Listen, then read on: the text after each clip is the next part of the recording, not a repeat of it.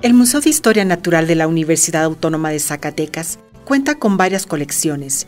En este capítulo conoceremos algunas especies que forman parte de la colección de los artrópodos. Lo forman más de un millón de especies, siendo este tipo el más importante y el más diferenciado del mundo animal. Comprende a los insectos, los arácnidos, los miriápodos y los crustáceos. Son los invertebrados que tienen un esqueleto externo de quitina con apéndices articulados móviles. Tienen el cuerpo segmentado.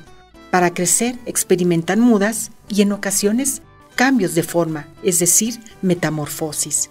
Estos animales son la base fundamental sobre la que se desarrollan todos los ecosistemas del planeta. Su importancia vital radica en que intervienen en la gran mayoría de los flujos de materia y energía que mantienen las comunidades biológicas de animales, plantas y otros organismos que constituyen los ecosistemas de cada rincón de la Tierra.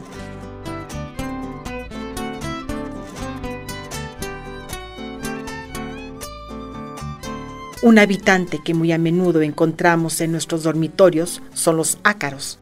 Por lo general son vegetarianos y producen agallas en los vegetales. Algunos excavan galerías en la piel de humanos produciendo sarna.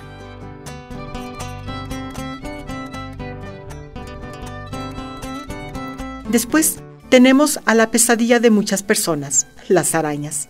Se diferencian de los insectos por tener ocho patas y cefalotórax, además de ocho ojos y ganchos venenosos en la boca. Pueden producir seda para crear sus trampas.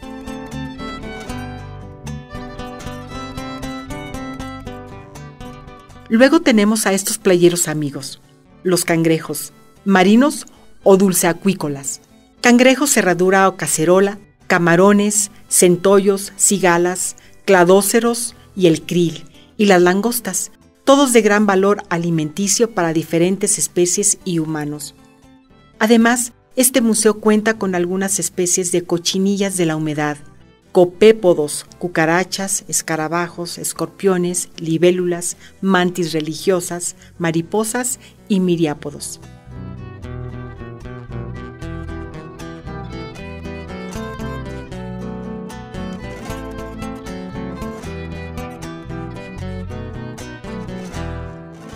El Museo de Historia Natural de la UAS cumple este 2021 140 años de brindar un importante servicio a la sociedad.